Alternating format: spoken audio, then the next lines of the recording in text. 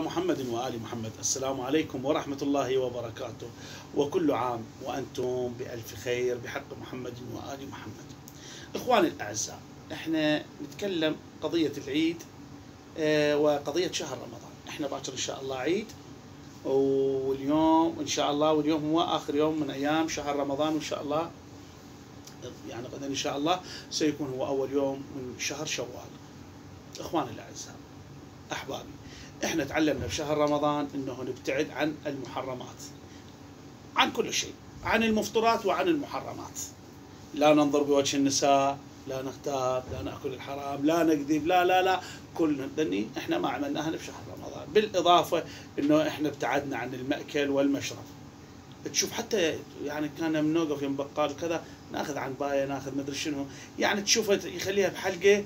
ليش؟ لأنه دائما متكرر هذا الأكل والمشرب عنده لكن بشهر رمضان ابتعد عن ذني. ليش؟ لأنه أدب نفسه بأدب رمضان. يعني رمضان أدب النفس.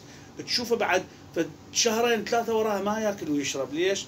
لأنه آه، ظل عنده طابع شهر رمضان. إحنا نريد ال 11 شهر ذني الأخيرات يكونن شهر آه، أشهر آه، متممة. لحياتنا سنة كاملة.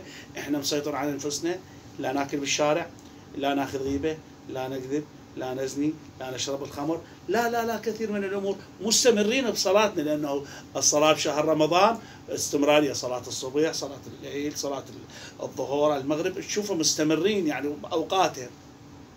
والصلاة بأوقاتها تدخل صاحبها الجنة بالإضافة أنه إلى ولاية أمير المؤمنين سلام الله عليه محبة علي بن أبي طالب حتى لو كانت في قلبك يعني خفي يعني إخوتنا اللي موجودين أكو بعض من عندهم يكون خفي في حبه لعلي بن أبي طالب آه، بالإضافة إلى الصلاة يلتزم بها.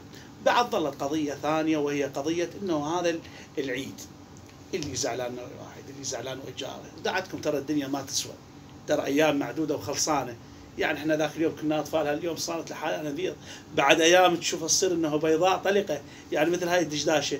وبعدها لها. هاي إذا ما القبر بهاي الأيام خذانا وال...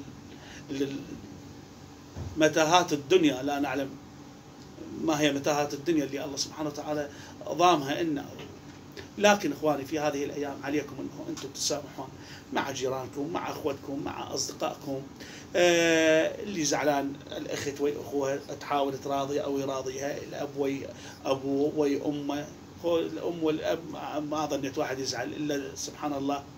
يعني أتمنى أن تكون في هذا اليوم امي يعني حتى أنه يعني أبوس إيديها ورجليها واقول لها ايامك سعيدة. وأنا من هذا المكان أيضا أقول لها ايامك سعيدة يا أمي.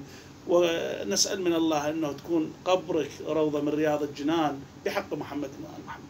إخواننا الأعزاء هذا يعني النصائح اللي أعطيتكم إياها التزموا بهم خصوصا تلتزمون بشهر رمضان مثل ما اشتهر يعني التزمت بشهر رمضان التزموا بالأشهر إن شاء الله اللي مقبلة حتى يوصل شهر رمضان مرة ثانية أنتم آه، تكونوا الناس غير هاي الناس. هذه واحدة بالإضافة إنه الزعل بين الأحباب والأصدقاء والجيران الحق تشيله من قلبك. الدنيا ما تسوى داعتك ما تسوى.